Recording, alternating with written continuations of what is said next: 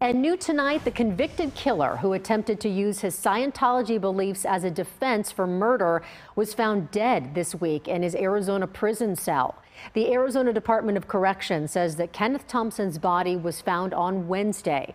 Thompson had been on death row at Florence Prison for a brutal murder of two people from back in 2012. At the time, he tried to argue that his Scientology beliefs compelled him to kill those people to protect their children. Jail officials say that they have identified two inmates who may be responsible for killing Thompson. New